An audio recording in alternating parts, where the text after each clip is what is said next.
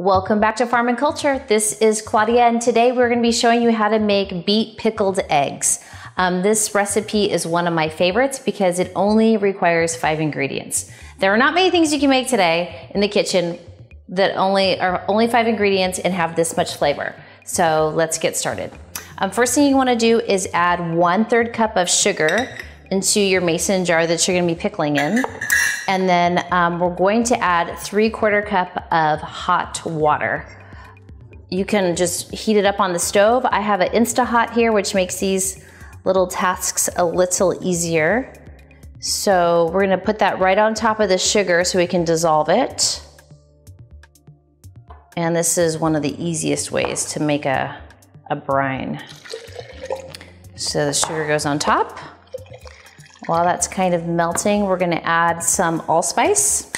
It's one teaspoon of allspice, the whole spices, and then also one teaspoon of whole cloves. Add that as well. It smells yummy already. Um, the next thing we're gonna do is we're going to finish off the brine with three quarter cup of apple cider vinegar. I like to use organic, of course, with the, the mother, but use whichever one is on sale because once you add in all of these different spices, you're not, you're not gonna really taste the purity of the, the vinegar. So anyway, we add in the apple cider vinegar just like that. Put the lid on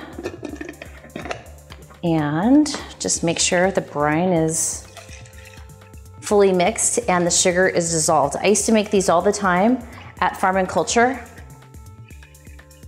in the shop and we would use these to uh, to make pickled eggs and deviled eggs and different little snacks that are packed full of protein. So once the brine is done, you wanna go ahead and just add some raw beets. These are all sliced momentarily. You can make them, you can slice them larger or small, whatever you wanna do. And then we're gonna add eight hard-boiled eggs that are already peeled and ready to go. And you can layer the beets in there too, so it's kind of mixed in.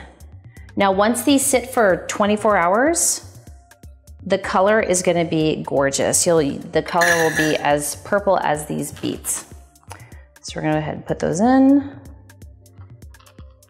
And you can shred these beets. You can um, definitely slice them as I did.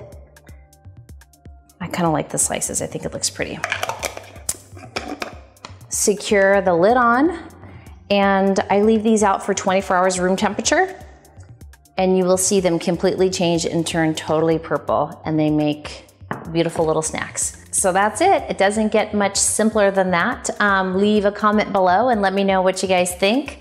And um, I would also suggest that you watch the video on beet deviled eggs because they are delicious and this is the main ingredient. So once you have these all made and ready to go, you can make your um, beet deviled eggs and share them with all of your friends and family. So there you have it. Thanks guys.